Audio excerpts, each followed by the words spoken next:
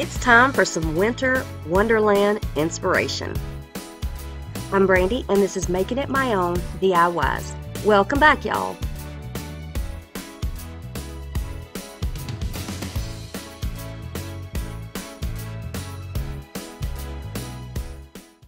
The first project is going to be a winter ladder.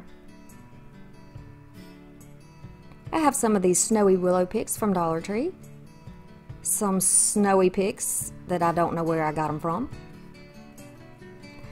and these two little cardinals. They have a little bit of a different position and they came from Dollar General.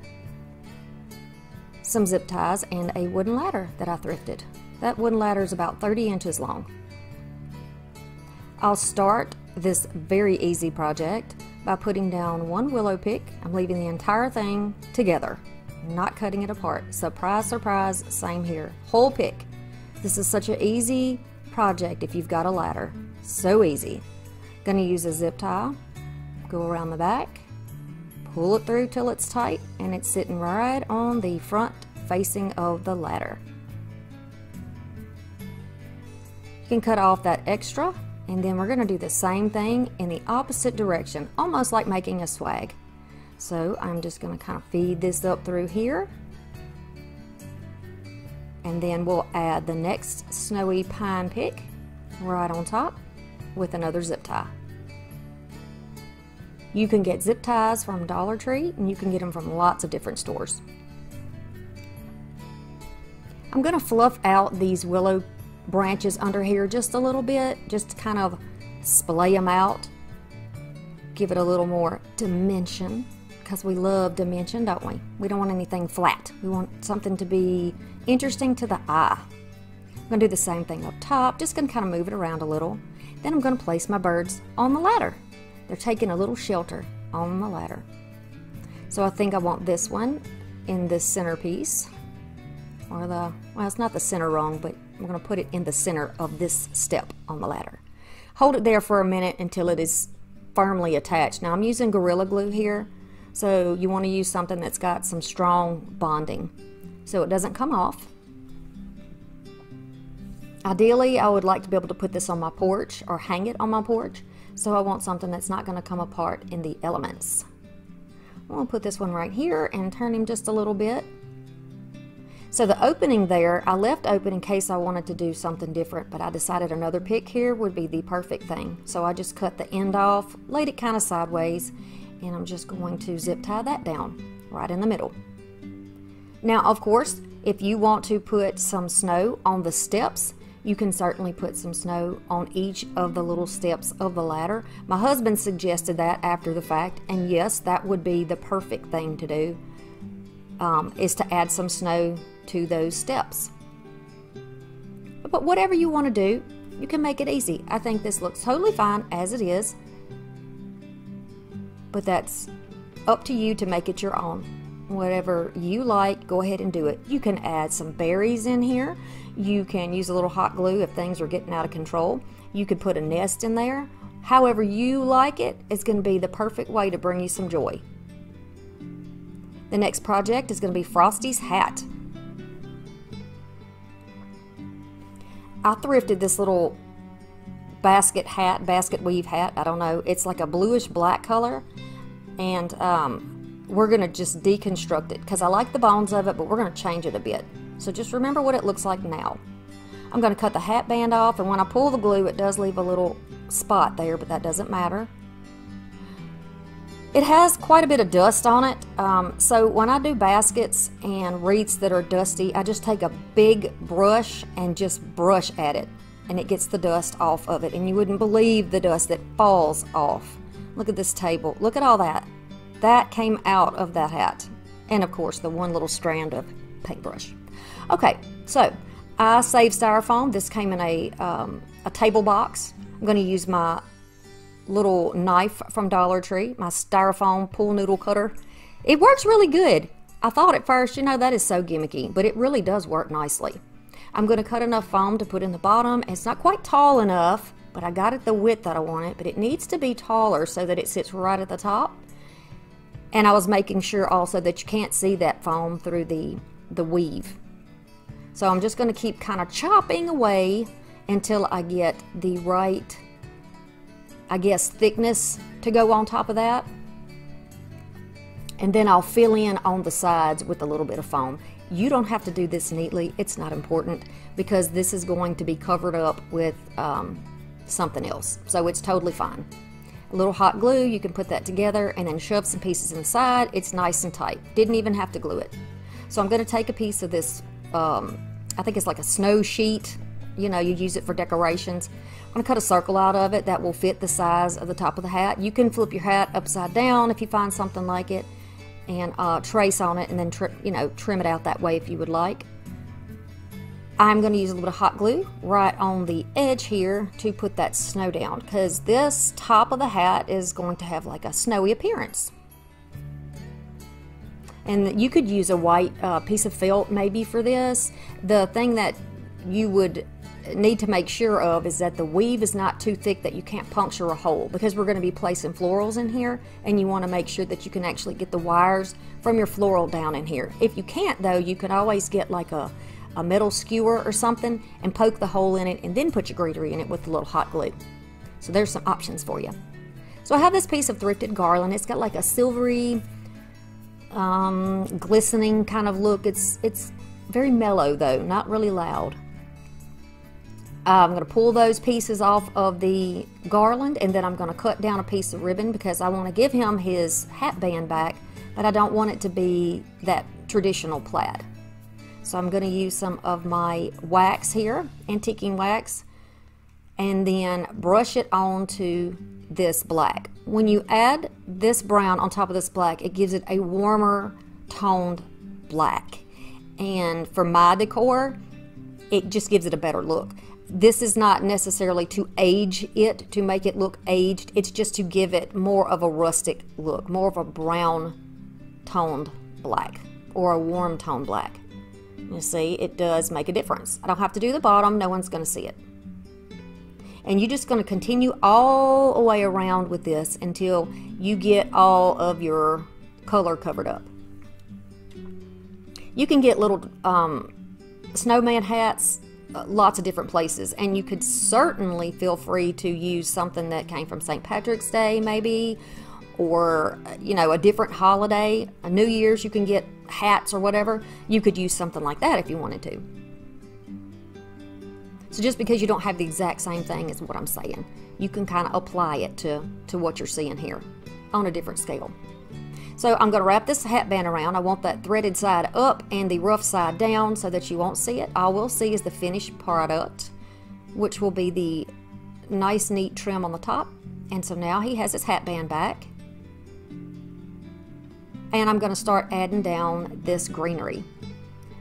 I'm just going to use some hot glue. You can see in here, I don't know if it's because it's garland that it, like one side of the greenery actually is sort of flat and the other side is um, more elevated. So I'm going to flip it so that the flat side goes down against the brim of the hat because that's where we're gluing it, to the brim of the hat, not to the, the tall part of the hat. Lord, anatomy of a hat. I have no idea what the pieces are. Okay, so what I'm doing is adding like two and then one, then two and then one, and I'm going back and forth.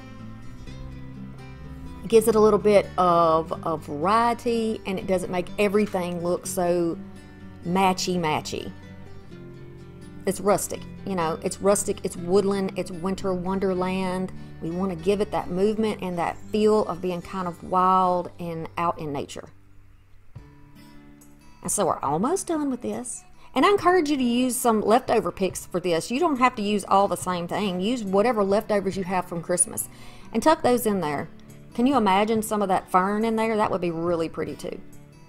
But I'm using what I have, like I said, to make these Winter Wonderland pieces. And these are some of the pine cones that came in there. They also have a little silver on them. If you get these pine cones on projects and you want to take them off and reuse them, it's just a piece of wire wrapped on the inside. You just cut it and then untwist it. Very easy. It's just looped around it one time and then twisted and then that's how it's put on the decorations that you know you might thrift. So I'm going to use hot glue. I don't want those wires scratching up my table. I'm going to use the biggest of three, put it down first, then I'm going to take the medium size one and put it down next, kind of right beside it. And you know, I pick these up and look at it before I actually glue it, so I know how, in mind how I want it to be. It's a lot easier that way than having to go back and fix it. So since I've run out of brim over here, I just put the glue in the little, um, the sides of the pine cone and then stuck it into the sides of the other one. It fits like a puzzle. It's perfect. Okay, so now we're going to start with the top part of it and then I'll go kind of back and forth on the top, on the sides. You'll see how that's going to work. These little pigs look like little greenery trees to me, so I'm just using them as trees. I'm just picking some pretty ones that have a good shape, that have that kind of a teardrop shape to put there. I'm going to use a little bit of that willow over there near the pine cones. That's going to be almost like the feather in the hat. Then I'm going to make a bird nest. So I'm going to take some of this berry garland, I guess is what it's called from Dollar Tree. You can get this all the time and in a bunch of different colors. Usually uh, the colors go by season, so you'll get more orange like in the fall, and then the reds and silver and stuff like that. You'll get closer to winter time or Christmas time. So all I'm doing is to start off in the middle with just two loops, and then I'm going to expand the loop outward like a swirl. So the diameter is going to get larger and larger as I go. Round and around. And I know this looks boring, but there's method to the madness. See, I want this to be I'm pushing upward and I want it to be in that shape of a nest. Around and around. And then you can just twist the tail around then manipulate the little strands so that you get it into the right shape that you like. And I'll put it right there. It's a good place for it. I'm going to use some of these floral pins and just push these down into the snow and the foam and it goes in there perfectly. And you can get those little floral pins any place I think that you can find crafting supplies. I did not get mine from Dollar Tree. Mine were thrifted, but I know you can get them pretty much anywhere and I can't imagine they would cost that much money. But they are very handy to have for some projects. So now the bird, it's actually a bell, but his bell is broken. He is glued down. We got a little cardinal right there in his nest, or her nest, whichever one. Then you can begin to cut your picks apart. You don't have to leave your picks in, in one piece. Cut them into pieces to suit what it is you need. So now these look like little trees. All the leaves are gone for the winter time and they're just branches sticking up there with a little bit of snow on them. And I think that texturally it really does something to the piece because it's more of a woody look and then you've got the little trees beside it and they're so full and green and lush and it just reminds me of wintertime. So in these little bags of assorted scatter you can get from Dollar Tree, there are a couple of different types of things you can use. So I was just kind of digging through there to see what my options were. And I found a little strand of this white pip berry, so I decided to use it almost like a little bud branch too. And then stick it with the trees, and then another piece I put with the pine cones and our little willow feather. And then there was a little piece of pine in there. I put that in for a little bit of a different look. You know, we're in the woods, you don't just have two types of trees. There's all kinds of stuff out there. So these little, what are these? I don't know, but they look like little flowers to me, and I really like them. I think they're pretty. I'm going to add those here and there around the pine cones on the brim, and I'm also going to put them around the bird and on the platform, you know, just wherever it looks cute, wherever I feel like I need a little extra something. There's also little pine cones in there, so I'll add some of those little snowy pine cones here and there.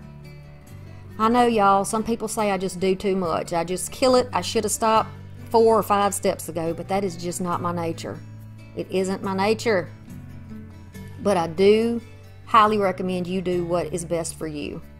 You can't tell people that they're doing something wrong just because that's not the way you would do it, you know?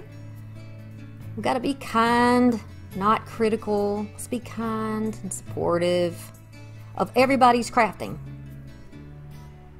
Just like when you ladies send me, and gents too, if a, if a gent's going to show me a picture of his crafts, but um, you ladies like to share your crafts with me and you email them to me, and I love it and I love looking at them, and they're all beautiful in their own way, and they're so unique because everybody does it differently. That doesn't mean they're wrong, right? It just means they're different. Different's good, in my opinion. So I'm just tearing some more pieces off here and just placing them around in the greenery. Ugh, I love this piece. I love this piece, y'all. I really do. And I hope that you like it as well. The next project is the Winter Barn. This is another easy one. So I've got this little barn that I thrifted, kind of dusty, needs a little cleanup. And uh, it, it says celebrate it. Isn't that like a Michaels brand? I don't know. But um, yeah, I got it thrifted. We're going to change it up. Right now, it looks like it might be okay for summer or fall, but I'm going to change it and make this a winter thing. Consider that when you have other items in your home that you, you think that you can't use but you'd really like to use and give it some new life. Go ahead and find what you already have. And I know you can get like little barns and little buildings, little at Target Dollar Spot. You can get them at Dollar Tree all the time. Whatever you find, whatever you want to, if you want to flip something, you know, I've flipped birdhouses before that I thrifted. So just whatever is good for you. Okay, so now going on, I'm going to use this Mod Podge, paint this along all over the roof, leaving some spots thicker than other spots. I'm going to go around the bottom. I'm going to also get the edges there. You, you don't see that right now, but I do get the edges. And I'm going to put this on areas where frost or snow might collect. Again, this is my imagination because I live in South Alabama, so how would I know? Oh, okay, the power of TV, right? That's how I learn. That's how I learn. I watch it. I see other people. I hear other people talk about it. The fun part, we're going to take our snow mixture. Now, I just use regular old Christmas snow for this and then table salt, plain table salt. Mix them together and it gives it that smart, that sparkly effect. And it just looks snowy and icy to me. I do know what sleet looks like. Okay, so we're gonna tap it off. You can leave it on there longer before you tap it off and that'll give you a, you know, that'll, if it's dried, it'll hang on to that a little bit better. But I'm, for purposes of making videos for you guys, I'm just gonna kind of rush through that part so that you can get the idea of what we're doing. Patting it down wherever it needs to be patted down and I think it's cute. So far, that's good, right? Go back along, look at it. If you need to add any more, you can go ahead and add some more at this point. If you don't find it until later, you can always go back and add it then. I left a fingerprint somewhere and I went back and fixed it um, toward the end, so no worries about that. See the fingerprint in the top? Yeah. So I'm going to use a wood slice and I've put some a thick layer of Mod Podge underneath and then what you see now is the snow that I put on top a thick thick layer. I'm pressing it down into there because I want this to have pretty good solid coverage. And then I'll just uh, turn it over and tap that off. And again you know when you use snow you can always put your remnants back in so I'll take that tray pour it back in the bag. I wanted to leave the wood edge clean that uh, bark edge clean and then I can decide kind of how I would like for this to be. Now, I'm being really ginger about this because it's wet. The snow is still wet underneath and on these items, so I'm trying to show you without making a big mess. But you get the idea when it dries, right? And you certainly need to give it time to dry before you start doing anything to it.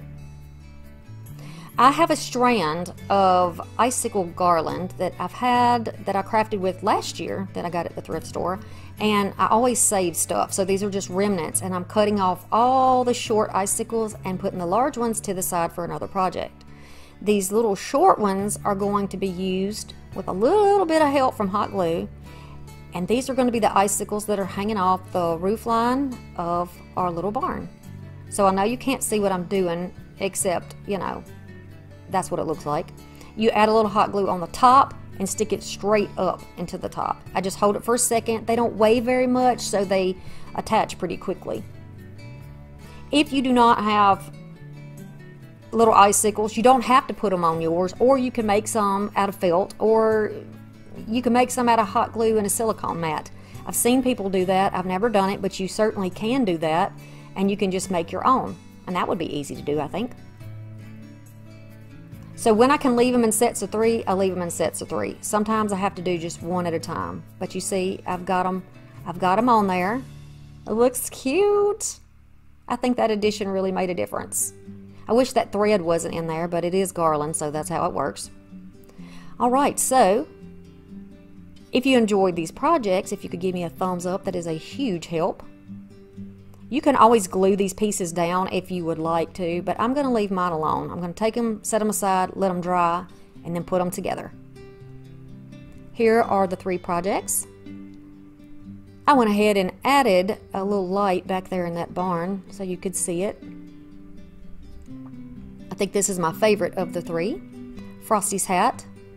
Very full and lush and winter wonderland looking.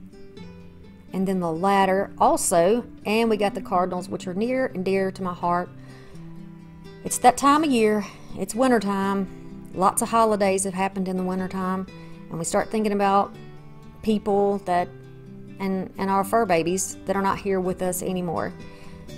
And we'll go into a new year and have new experiences with new people we bring into our life. The first project is a birdhouse sign. We're going to start off with some scraps of greenery, some paint and a brush, school glue stick, a calendar page of your choice, and here's the one I'm using. This is the artist, and then a Dollar Tree sign. This is just a Christmas one that we're going to remove the tag, the hanger off of, and then just smooth out any lumps and bumps. You know how it is with these projects. Some are perfect, some are not.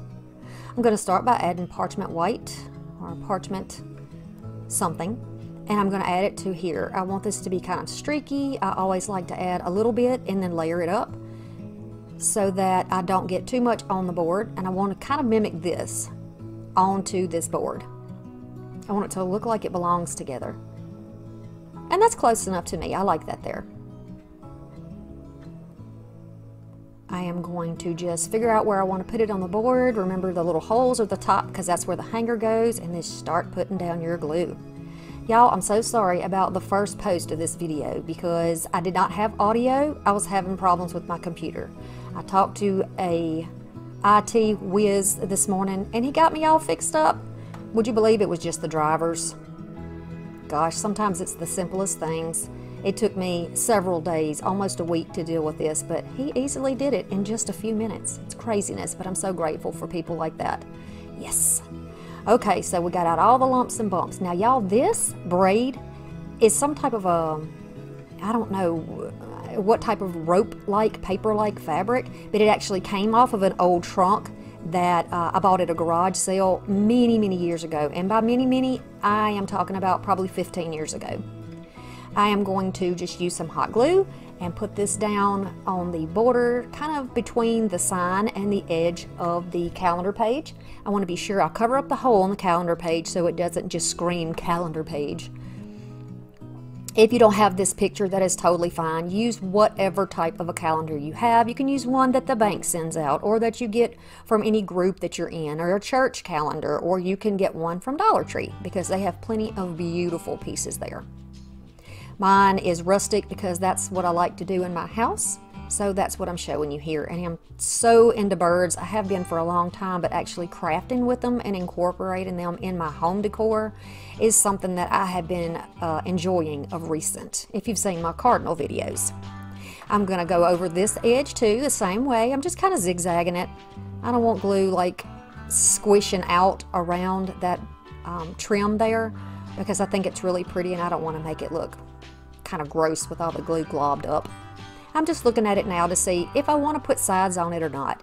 So you could always use, leave sides off if you didn't want to use them. And what if you don't have this trim because not many people are going to have a trunk that they can pull it off of. Use whatever type of trim you want or you can use yarn or you can use ribbon or you can use raffia, whatever you want to use to trim out your page or you don't have to use anything at all. But again, rustic, and I love to reuse things. So this is a perfect way for me to remember this trunk by having it right here. And by the way, the trunk held lots of things for my oldest two children until it just really fell apart. And um, I just kind of salvaged the pieces I thought I could use again. I'm just simply going to use some jute to do this little hanger and I'm going to put it around to the back make sure that it's the length that I like and then I'll be adding little pieces of um, just some cut up scrap paper here to hold it on the back. We can start next with a greenery and these are thrifted pieces that I have used on so many projects and I still have some left. They did come from the thrift store but you can get yours anywhere. I decided to pull off the pine cone. I'm going to add a little bird this is like a little plaster, I don't know what kind of bird. I had a bag full that I thrifted of birds and mushrooms and pine cones and berries and butterflies. And so you'll be seeing those again this spring for sure. To make this easier to handle while I hand paint this little bird, I am going to just hot glue a little stem on the inside that fits and we'll cut it off later. I'm using some gold, brown, and blue because they match the color of the bird the well the birds that I already have in my picture. So I want him to look like maybe he just flew right out of that picture. Right? He flew out of there and he just did his own thing and he has his own little nest outside of the picture. I'm not going to show you the entire time I hand paint this because I am not a pro at this. This is just, you know, I'm a crafter. I'm not a professional by professional by any means, but this was fun to me. I really like this. And it's just paint. You can always paint over it if you don't like, you know, the way that it looks. And you can use little birds that you already have, like a little bird figurine or little birds that maybe you got out of those little, oh, what are those little gnome or fairy gardens that you get at Dollar Tree? You know, just whatever you like. I'm just using him because these are the kind of birds that are in my calendar page. But if you have something different in your calendar page, then maybe use something that comes from there. Now I'm just going to add a little bit of white to him to kind of make him look a little bit closer to what's going on in the picture. And you know, he's got snow on him. That's not bad, is it? That's not too bad. So I'm just going to nip that off, just like I had mentioned before, and he will be nesting right here. But wait, he needs a nest. So I'm going to make a nest. I started off by wrapping around two fingers. That was too much. So I just wrapped it around one finger several times and then after that, I'm going to tuck that string up through the middle or the hole there and just wrap it around a few times so that it helps hold the string together. And then I will be adding a little bit of hot glue. No need for this to have a bottom because I'm going to collapse it, push it into itself, and um, put it underneath that little bird once I get it ready. I'm just going to use a little glue in the middle of it to kind of push it together because there's no need for this to stick out too far, um, to really stand out too far. So that's what you see me doing, adding some glue in the middle, and then I'm going to add some glue on what I'm going to call the back of it, and then smush that down into the greenery. And then I'm going to put some glue on the little bird's bottom and put him right down in the nest. Isn't he cute? Y'all think this is cute. I think he's really cute.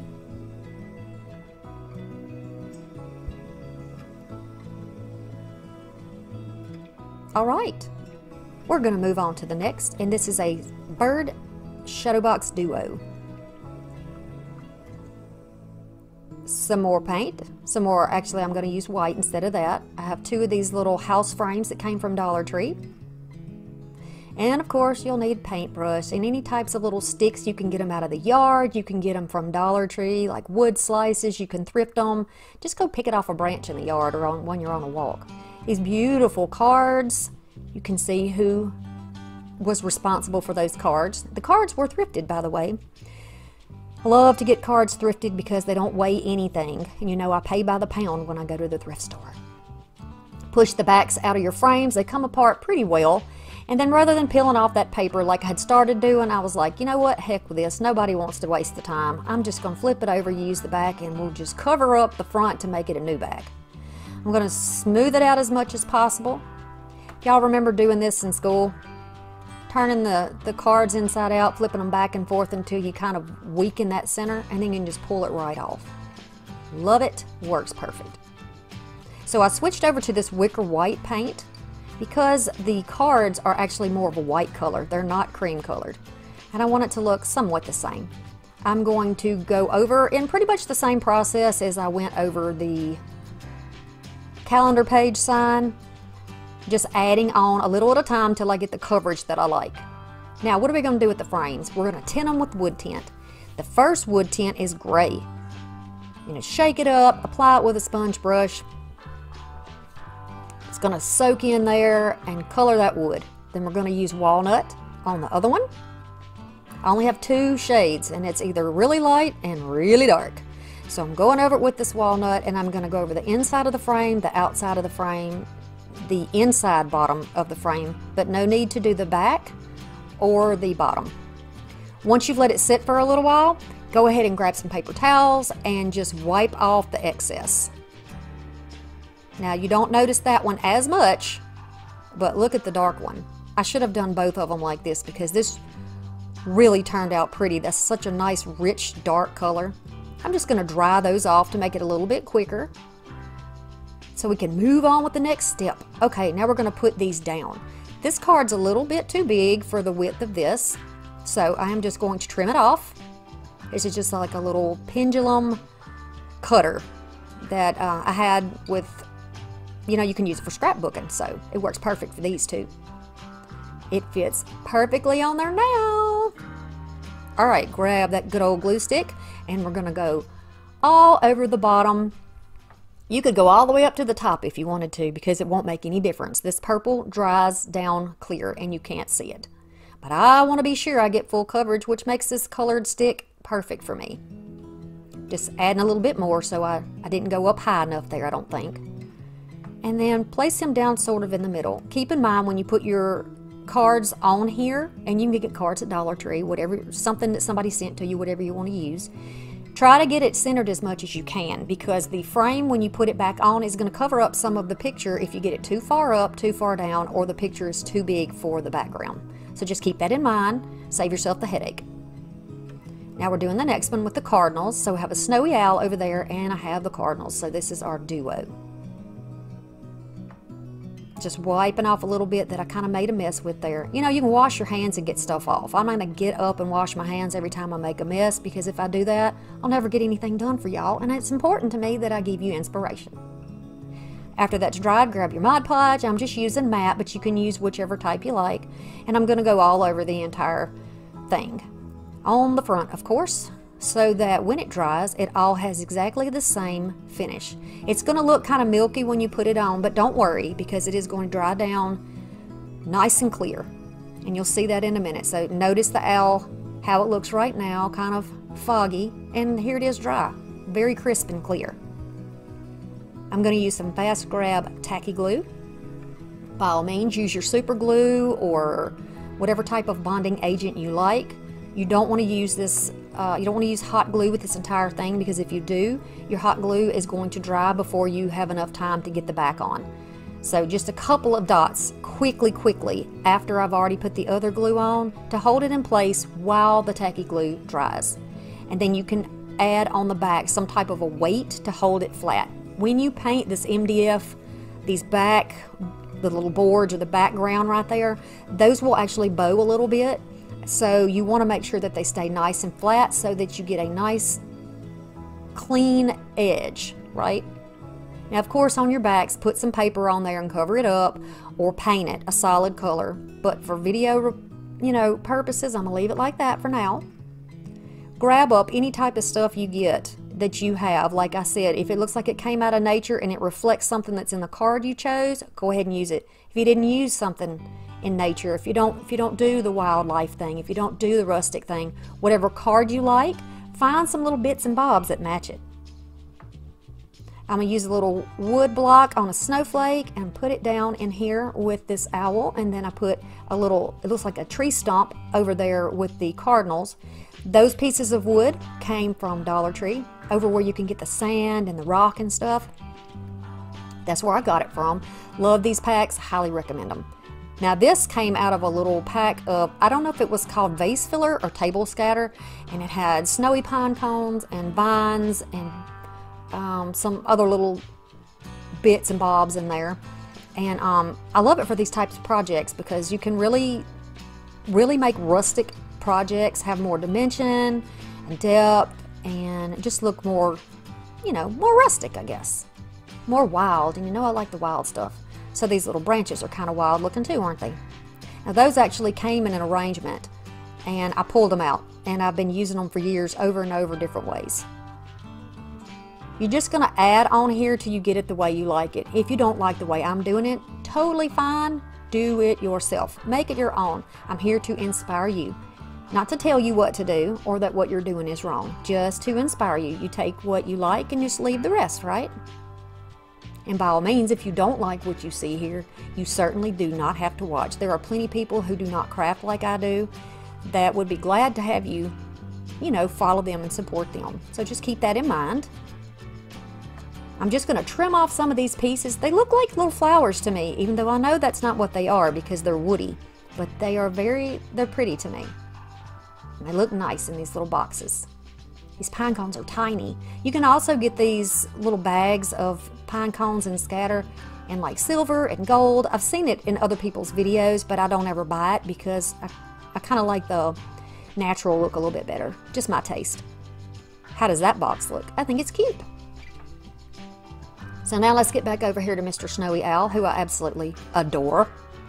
And I am going to cut down another one of these branches just to give you an idea of how this works. You know, you just cut the pieces off you like. I'm just looking at the branch, trying to see what curves and, and what directions and, you know, will fit on this box. And rather than putting them on the inside, I think that putting these on the outside would be a little bit different and still very nice and rustic. So I'm just putting these together in a way that I think they would look nice. Almost like a, uh, if it was like a little tree or a little bush that was growing there. I'm going to make a knot with my jute just around the bottom so that it holds all the bottom pieces of the branches that I'm using. Stems, branches, clippings, whatever you prefer to call those.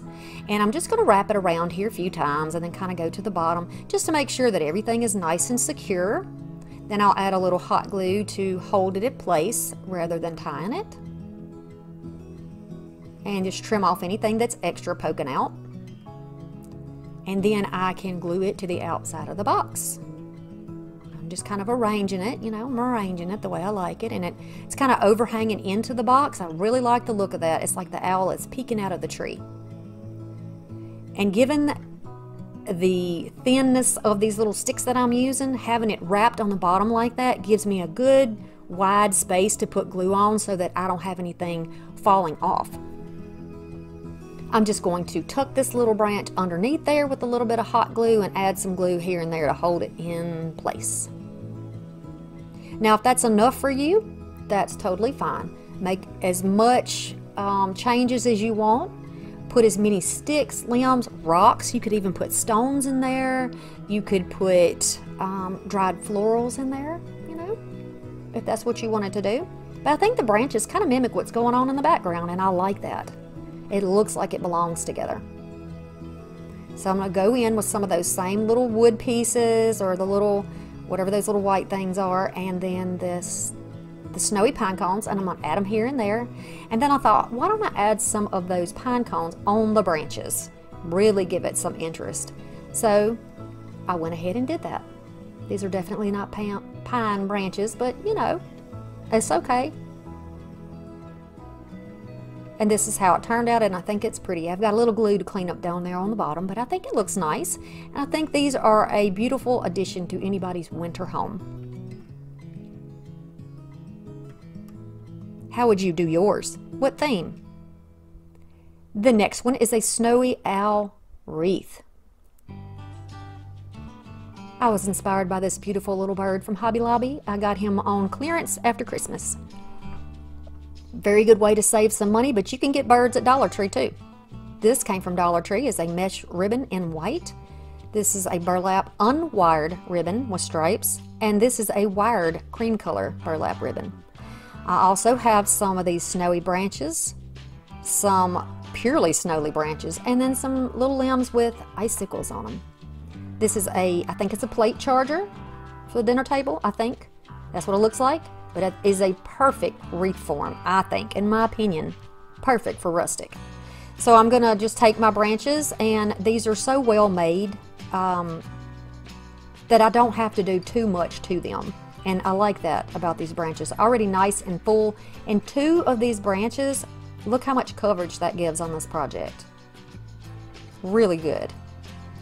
I cannot remember where I got these branches from. To be honest with you, I do not remember. I'm going to use some zip ties and I am just going to wrap it around in nice little places where I can kind of hide the zip ties. That one will be hidden later. I know you can see it right now. Because there's so much opening in the kind of the crisscross of the woody background or viney or whatever that is background, I can actually stick the stems down into the weave, which makes it nice too because I don't have to secure it down. It's stuck in there now. It'll stay right where we put it.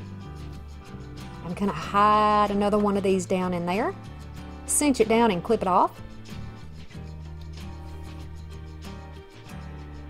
And then I am just going to fluff a little bit. They're on wired and plastic and the good quality florals do have wire down most of the limbs and it makes it so much easier and it saves so much time for me even though I like to fluff bows and I like to kind of fool around with my projects and you know I you got to touch everything, you got to adjust everything.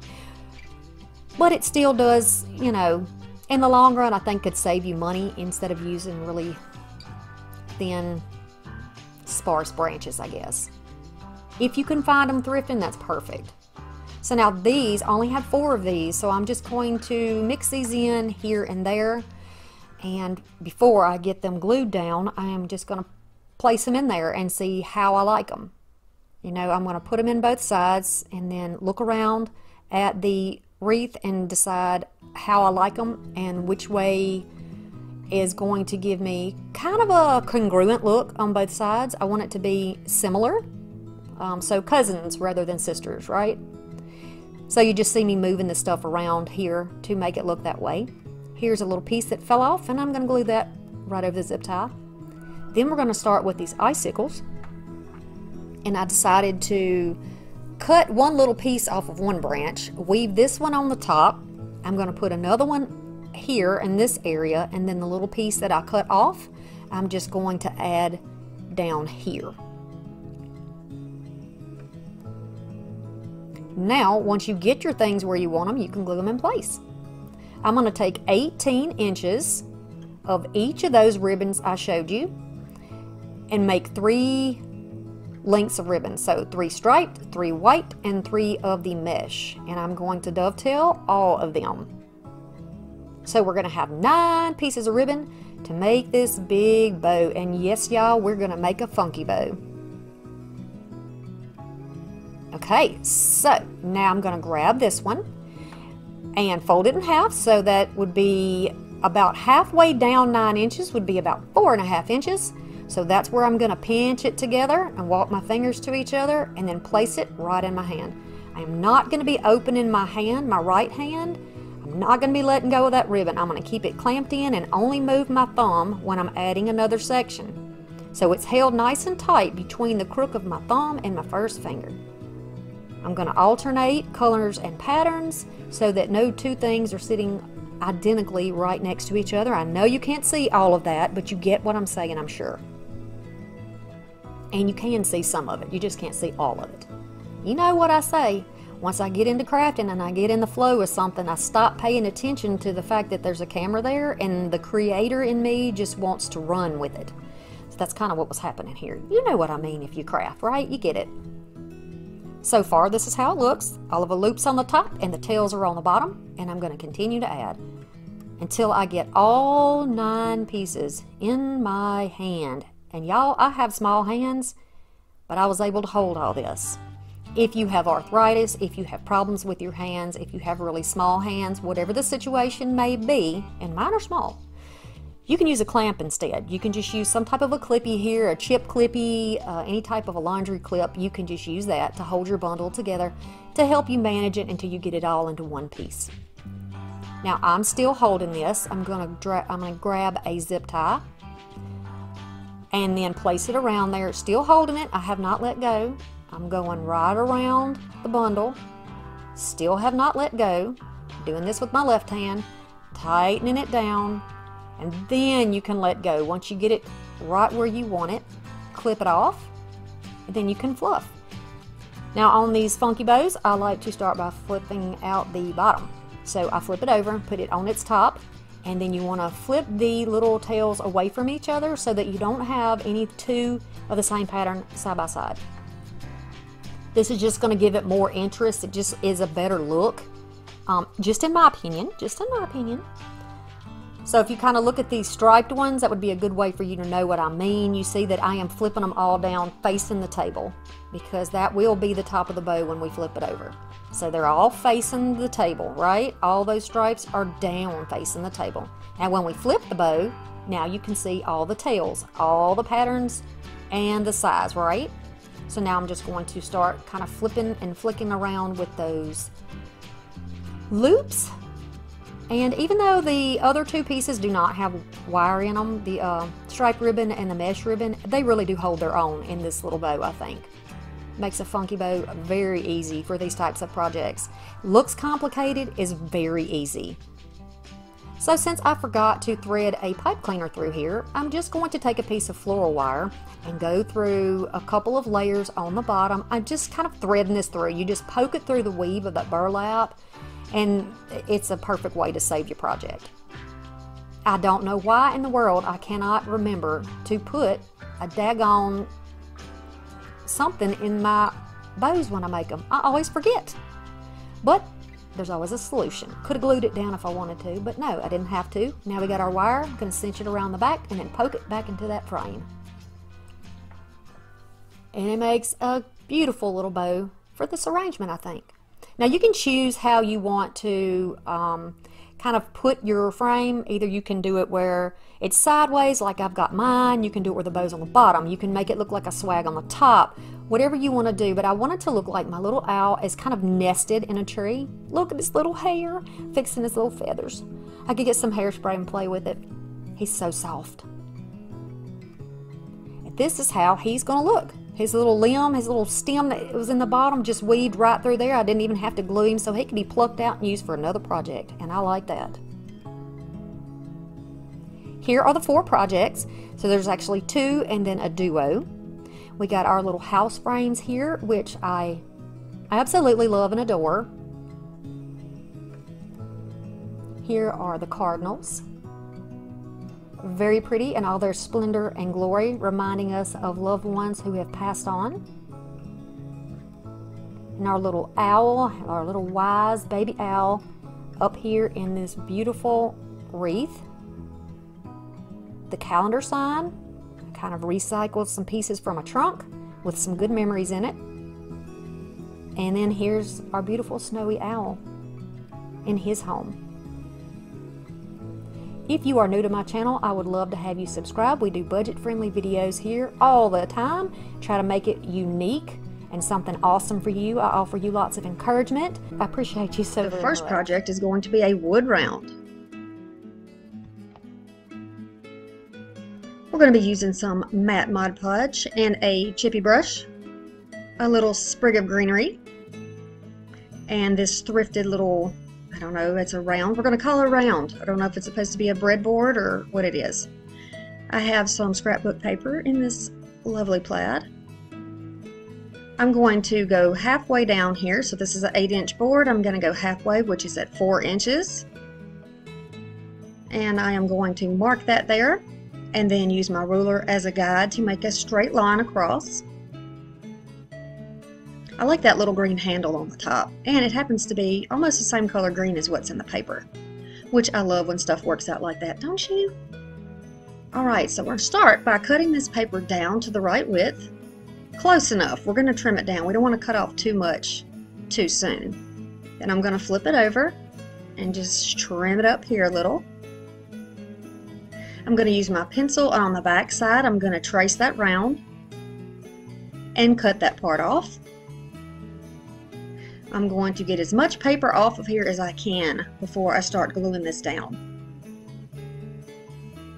I'm going to take the Mod Podge and my brush and you see my pencil line there. I'm going to go under my pencil line and glue this down. At this point, if you want to, you can go ahead and put Mod Podge all over the entire thing because I do go back over it with Mod Podge but this is just how I started it. So save yourself time any way you can. Now my measurements, I have a little extra all the way around. Going to use this little tool here and this came with some vinyl that I bought and I'm just going to flatten this out. I like to work kind of toward the middle going outward so we can press out any bubbles or wrinkles that are in the paper. But this is a good quality crafting paper so no bubbles here. Then I'm going to go back over the whole thing with the Mod Podge. Now if you don't have any scrapbooking paper, that is fine. You can use gift paper if you have some gift wrap that's really pretty. Dollar Tree has some gorgeous gift wrap paper right now. Uh, they've got some with trees and trucks and some that look very woodland. So if that's what you're into and that's what Once you like. Once the board is dry, it's going to look like this. Now we have this extra paper on the edges that you can use a utility knife to cut off. You can use an emery board to file it off. You can use a sanding block from Dollar Tree. I think these sanding blocks are one of my favorite things in the entire world. You could probably get a pack on Amazon at a good price, but I just get them as I need them because they last a long time for me. Just, you know, doing the little craft work that I do. So now that part is done, we're going to add our little greenery pick. Dollar Tree, again, has lots of greenery picks. I saw some gorgeous, um, it's almost like an evergreen pick there that I didn't get because I have plenty at home. But uh, yeah, really, really pretty stuff right now at Dollar Tree. Hopefully you can find something that suits your tastes and coordinates with your paper and your theme. Y'all know I live in a cabin by the lake and my heart is in the rustic woodland stuff. I'm going to do a little bit of everything for y'all. You know, you've seen my vintage. There's more coming. There's more, they've got some Victorian coming to you. All kinds of things. The people who started out with me started out with me in my farmhouse and rustic journey. So uh, I know some of y'all still love your woodland stuff, and I don't think I'll ever get tired of it. I think that shows in my fall decor as well. So when you get your pick exactly where you like it, and I just moved it around quite a few places to see what would suit me best, what I really liked. I'm going to use some hot glue, and this is Gorilla Glue, so it is a really good hold. And I'm going to just use a clamp to help hold it in place, you know, cut off the excess, and then just go behind the thicker pieces of this greenery to hold it in place. Okay, so now we've got the pick trimmed off so it's nice and neat over there. And this is how it's going to look. Now the heaviest parts of the pick are usually a good place to put your glue. That'll help hold everything still. And you can hang it and it is nice and secure. I love the look at this. And I was able to cover up that little spot where it was kind of chipped off because this was a thrifted piece. So, you know, just because it has a little damage does not mean that you cannot use it. I would love a thumbs up if you like this craft. Very easy, very quick.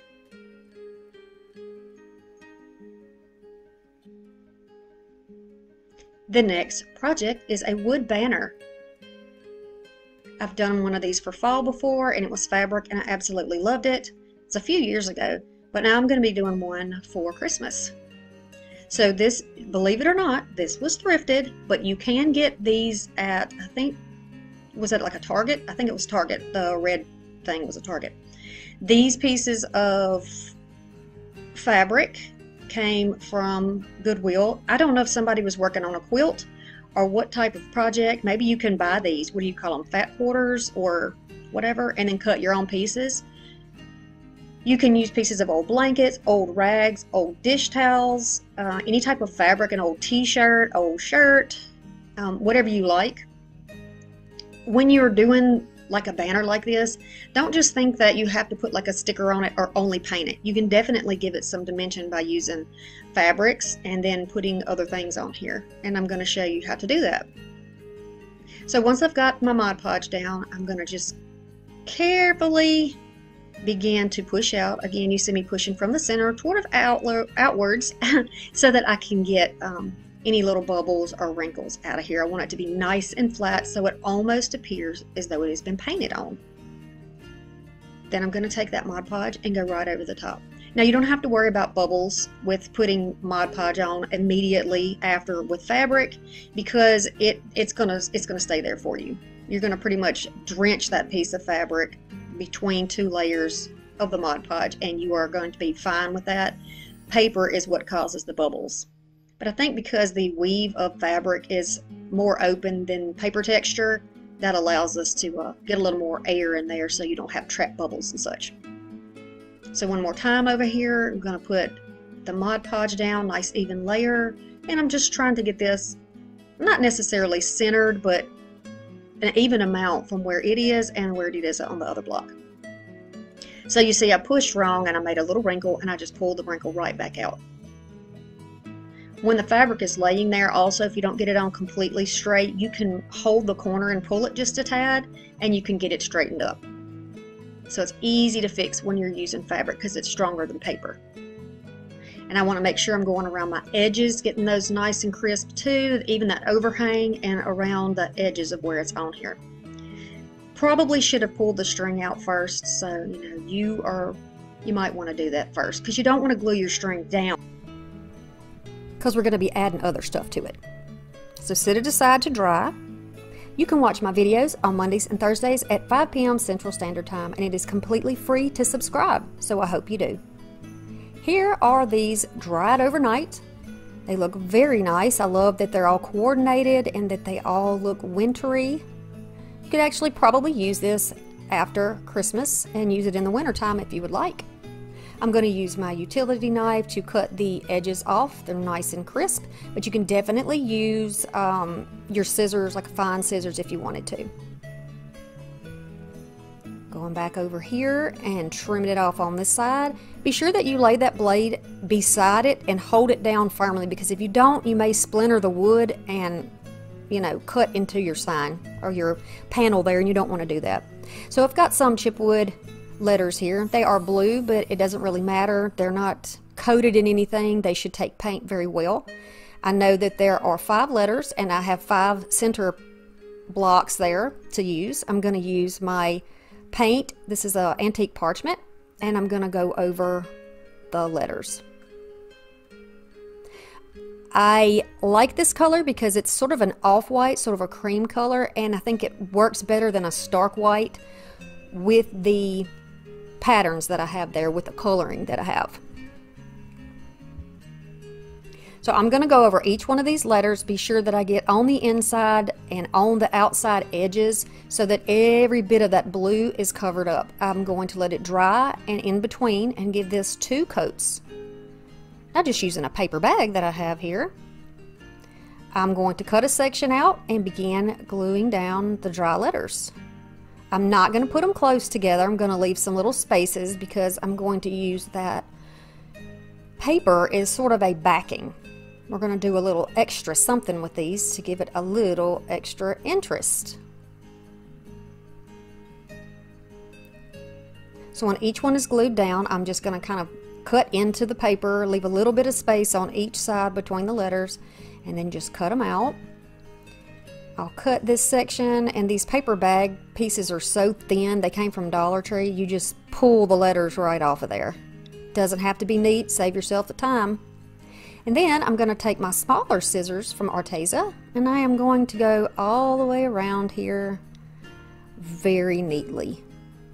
And I'm not trying to make this look exactly like what is underneath it but I want to give it a shadowing or a a backing, I guess is the only real thing I know to call it.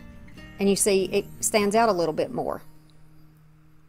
Now you could use an additional piece of fabric for this. You can use a different color coordinating scrapbook paper for this. You could put these on those same wood stars that we have used um, in projects. You can do that um, any way that you want to do this. Also, if you don't have chipwoods, you can use regular stickers or you can stencil or you can just do this without any wording at all on it.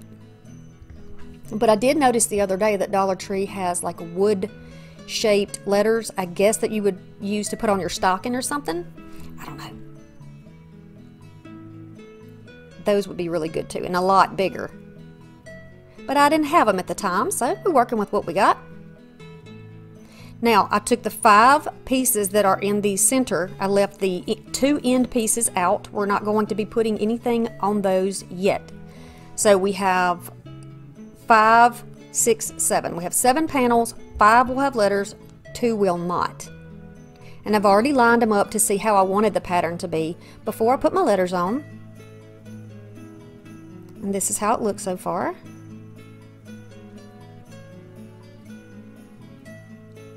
And you don't have to use hot glue. You can use regular glue for that if you wanted. Now I'm going to grab that same little jute piece or get another piece of jute. I like the jute because it still looks natural and that's kind of the idea with the woodland look. So I've stacked them all up in the order that I know they will be strung and I'm going to add some white wood beads because I like the white wood beads but you can use natural, use what you have, whatever coordinates with the fabric that you choose. And then I want the largest part or the most of the string to be on the back, not on the front. I want to see my pretty fabric on the front. So I'm going to slide it down. I'm not tying anything yet, you'll notice. You can use tape around the end to thread those on if you want to, or a little hot glue twisted will make that into a nice little point for you. So I'm doing a panel and then a wood bead and then another panel and another wood bead and we're going to continue along until this is done.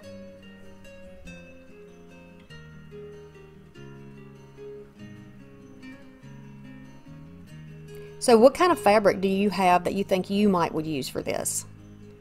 What would you use? I know Dollar Tree's got some really pretty fabric panels there that you could use as well, but I haven't found any new Christmas at my store yet to be able to use those, but yeah. And I know that Dollar Tree has some type of these over in the party section, like a banner, blank banners. They may be fabric, though they might not be wood, but you might want to check out that section and see if you can find something, maybe with the baby shower stuff um, or the party stuff. So once everything is strung up where I want it and I know where the center is because I've slid them all around, I am going to make two knots, one on top of the other one so that it doesn't slide through the bead. And I could also add a dot of hot glue in there just to make sure that it is secure. When you tie these knots, make sure that second knot sits right on top of that other one. It kind of, one part of the knot is going to loop over that bottom knot and make one nice knot instead of two right beside each other. I hope that makes sense. All right, and now I'm going to do the same thing on this side and make a double knot down here and it will be nice and secure. This is how it is going to look. We have also put the panels on that we have not embellished yet. You can see that there. The two on the end are blank but we are going to fix them up and make them pretty.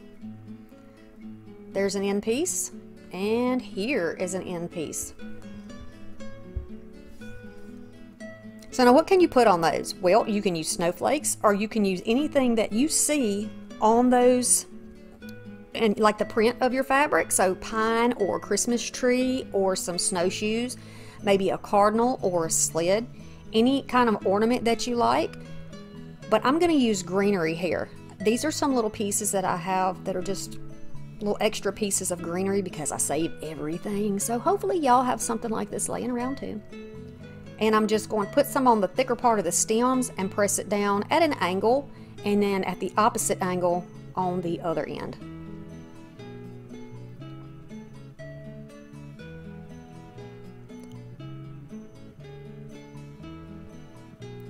Just like that.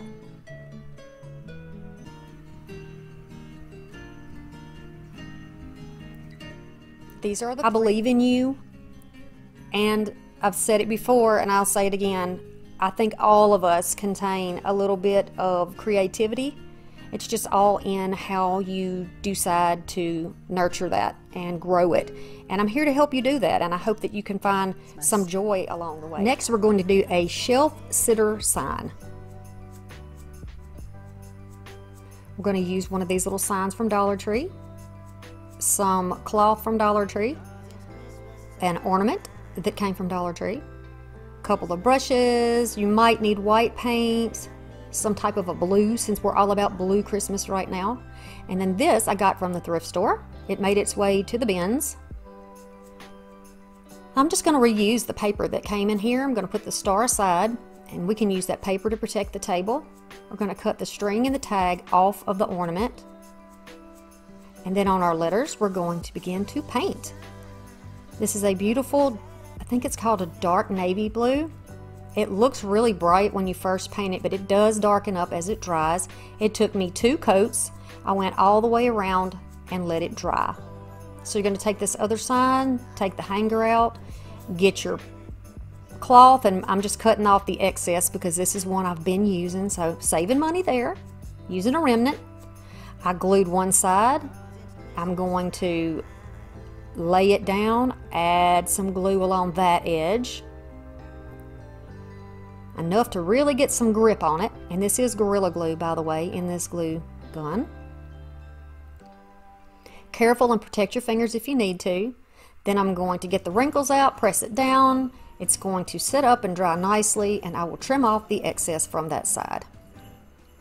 I'm going to lift the ends up and cut across. They're going to be about a half, mm, no, maybe like a quarter of an inch longer than the end of the box is. And we're going to fold this almost like you would when you are wrapping a Christmas present or a gift. Just going to glue that down. I'm going to add some more glue. Fold the other side over. I'm just pulling it tightly so my corners are nice and flat. Then I'm going to add some right down the middle. Carefully flip this up without touching the glue. That's why you need to protect your fingers. And then I'm just going to use a clamp to hold it in place while I go to the other end. So here's the other side, adding the glue. Going to go right down the center, press it upward and over and clamp it. Once it's dry, take your clamps off, flip it over, and trim off your excess on the sides. And there's our base. I'm going to use E6000 and some hot glue to put on the bottom of these. I didn't paint the bottoms because there was really no sense in it. Then I'm going to add hot glue in the middle. Place it down on the sign and I'm pressing pretty hard hoping it will go through that fabric onto the block. But it didn't. So I'm using some short staples and I'm going to staple the J in from the underside and then I'm going to do the same process. I'm going to add some of that E6000, some hot glue, press it down, give it a minute to kind of cling to that. Then I'm going to flip it over, support it, and use my staple gun on the bottom. It'll go right into the center and it holds it nicely. Perfect. Now the snowflake weighs essentially nothing. It's like styrofoam. It, it just it hardly has any weight. So we're going to do it a little bit different to attach it. I'm going to add hot glue. I'm going to put it in the middle because the snowflake is going to be our O. I'm going to press it down and then going all around the outside of that while I'm holding it in place, I'm going to trace it out with some glue to really give it some more support. Now the fun part, get out the Mod Podge. We're going to go across the tops of the letters and the snowflake and then in the cracks and any place like snow would naturally fall. You see how wobbly that snowflake is? Don't worry, we're going to fix it. Yeah, you want to put it there because we're going to put snow on top of the Mod Podge and that is going to give it a nice snowy look. So he talks about, uh, I think part of the lyrics is, you'll be doing all right with your Christmas of white, but I'll have a blue, blue Christmas. So this is the Christmas of white. We're putting some snow on here, making it really pretty. We've got a snow theme going on with our ornaments. Well, with our decorations, not our ornaments. We didn't do ornaments, did we? Although you could probably poke this in the tree if you wanted. Just going to continue to flick that snow all over it, flip it over, tap it off, and get it all out of there. And you see everything's hanging on there nicely. I'm beating the you know what out of it and it's still holding on, so that's good. But at the end, I needed a couple of staples to help me hold that down, so I added some staples in the bottom, a little more hot glue. Finally, she's standing up on her own. There we go. This is how that sign is going to look.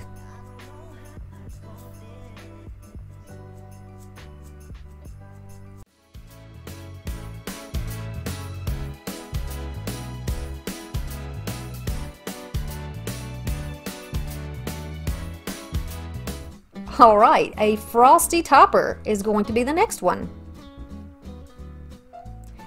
This came from the thrift store. I thought he was cute. There were a bunch of them. I think it was like a little um, solar light or some type of little light for outside, but it's in terrible shape. So I'm going to go ahead and take my white um, semi-gloss Rust-Oleum and spray paint most of his face. A little bit got other places, but that's okay. And I got a little bit of this putty. See, when I spray painted it, I noticed the little damage that was on the nose and on the scarf. So I decided to, you know, not just ditch the whole project. I thought, well, let me just go ahead and try. Because sometimes we have things with cracks and, and problems, and we can work with them and getting, you know, where you can barely see. You can really fix it. I could have used some modeling clay, I think, here too, but this worked fine. And I'll give you a closer look of it um, once I get done thinning that out. Don't want any chunky spots, and I'm trying to go along with the regular contour of this. I guess this would be like a little carrot nose. And it worked out fine for that. However, I tried it on those cracks on the scarf, not so much. They're way too big. So I just left them. I have some wicker white paint that I'm going to use to paint Frosty. Now,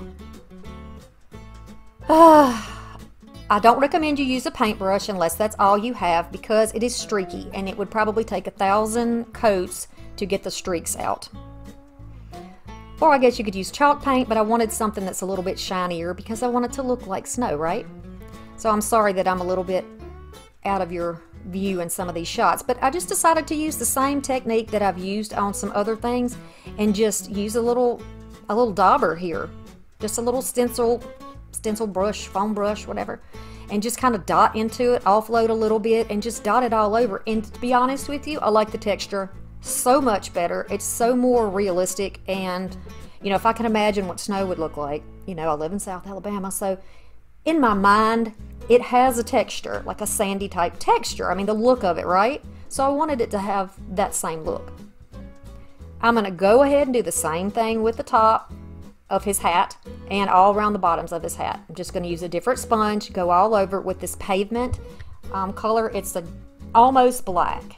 Once it dries, this is how it will look. Then I'm going to go over his nose with some orange. I believe this is harvest orange or pumpkin orange, something like that. And then I'm just going to take a smaller brush and start painting his nose. Y'all, please don't be intimidated by painting stuff. It's really put, like I said, I've got to have my magnifiers on or I cannot do this. I have to steady my wrist, steady my hand, and then knowing whether to move your hand or your fingers or your arm to paint to keep it steady. You just have to practice. And by no means am I perfect. I do not even claim to be. But I did do two coats on that nose to make it look opaque and it was fine that way. I didn't have to uh, daub that on there. And then I'm taking some black buttons for his eyes because I like the texture. I think it looks a little more realistic. I'm going to give him some button eyes and a little carrot nose and I'm just going to leave his mouth just like it is. Almost as if you took your finger and just pushed in there to make his little smile. I like it that way, but you can certainly do yours any way you like. Now I'm going to work on his earmuffs, so I've got some navy blue paint and it matches the yarn that I want to use. So I'm just going to go over with a flat brush at first. I know y'all know how to paint, but for those of y'all who are new to crafting, and I know I've had several people tell me that they're new to crafting, I just want to give you tips here and there. And I know that the ones of you who are more advanced are very patient and kind and understanding because we all start somewhere, right? So the smaller brushes to go around the edges and I'm just trying to balance my hand to make sure that I get a nice straight line. Now it is not perfect because it's hand painted. I can't do it perfectly.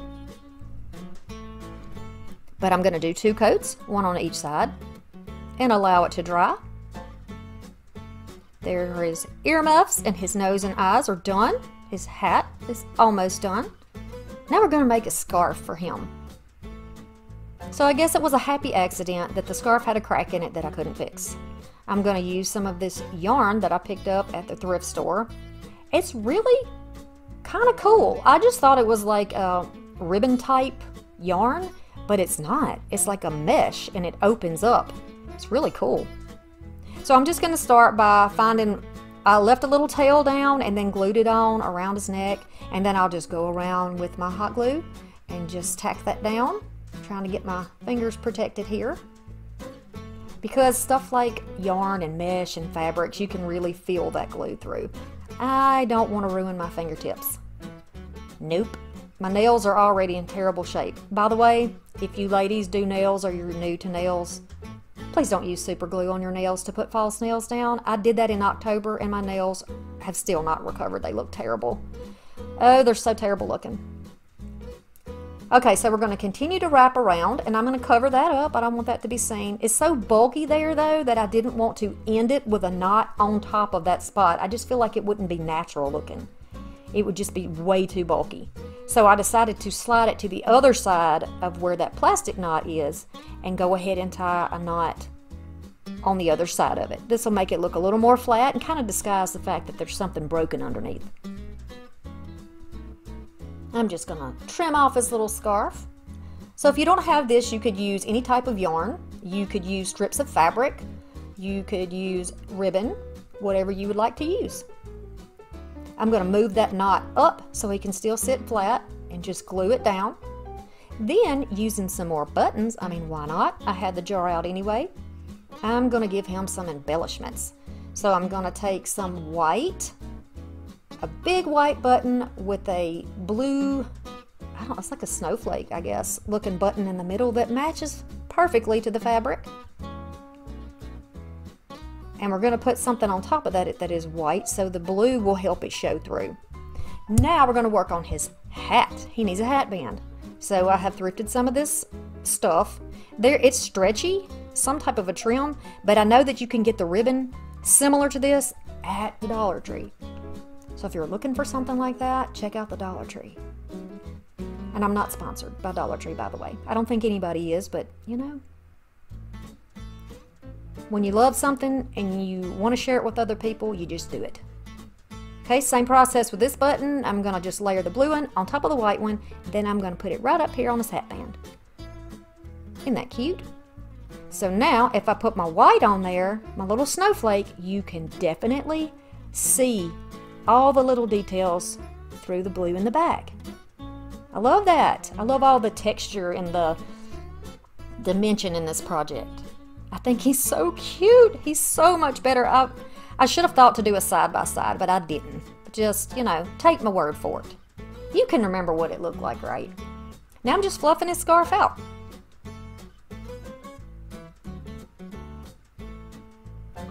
Now, what in the world would you do with him?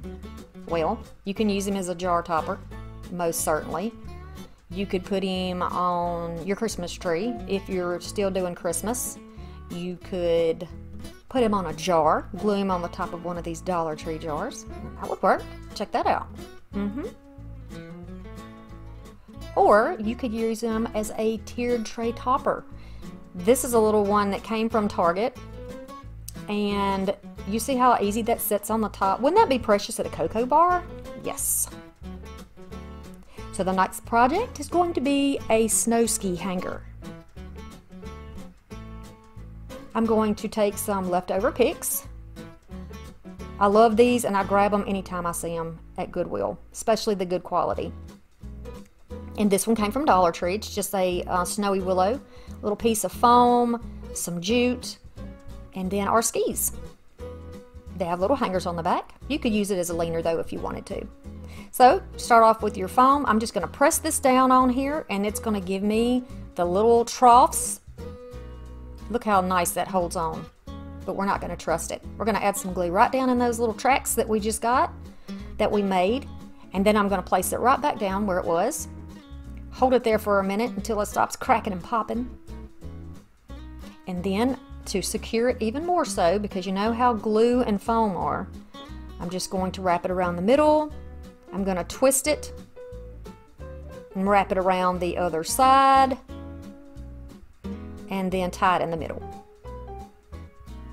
I want the foam on here because it's so much easier to work with florals if you have foam to put them in rather than just gluing them flat down on a surface. I'm going to cut up these little willow picks and I'm going to cut them into even smaller pieces too. And then I'm going to start figuring out how I want these to lay and if they're going to be too big. I don't want to completely cover up my skis. I want them to be seen somewhat. So I'm just going to pull at my little branches here, trim off what I don't need, and then figure out how I want to place them. And I pulled one off of that one too. You can cut down your picks so that they are the right length and you don't have them sticking all out of your foam and you don't want your foam to break in half. So you know puncture it where you have to. All right so I decided rather than doing it at a slant I would do one in the top and one in the bottom and then um, work our way around. I'm just going right beside that that piece of jute cord I'm fluffing it out a little bit because if you don't use glue, you can always move it if you don't like it. I'm going to take some of the little pieces that I pulled off of the branches and just place those back down. That one doesn't have quite enough snow on it, but we'll cover it up. So you can get the idea of the shape. Then just start cutting those picks down. They are on wire and they're plastic. Just be sure that you're trying to push the wire part into your foam instead of the plastic because it will just bend and it's not going to want to go in there for you. I just look at it from all around and decide where I want more pieces to be and just kind of space them out. You know, you go by feel with some of this stuff. You just, sometimes I forget the camera's there and I just keep putting stuff in and moving stuff around. And some people say I do too much, but you know, I think that's what's unique and individual to people. You do as much as you like and stop when you want to stop. Add more if you want to add more. So these flowers here, I want to add at an angle. They just look like little snowy pieces to me. So I decided it would be okay to go ahead and use those. I'm going to move these pieces around so that I can see I can see all the pieces of my skis underneath and the poles that are underneath. And you can use little bits of hot glue if you need to to glue your stuff down. Rather than using a, an ornament, I decided to use this plaque, which still I think is an ornament actually, that I got at the thrift store. It's metal on the top, the little snowflakes, so I'm just going to bend them out a little bit, that top white layer to give it a little more dimension. You can see that it's bowed. I guess maybe that's why somebody got rid of it, but it's perfect for what I'm doing. So I'm going to add a good bit of hot glue and go right over my foam block. And that will be the center. I'm going to hold it for a minute because again we want that glue to hang on to it. And this is how it's going to look.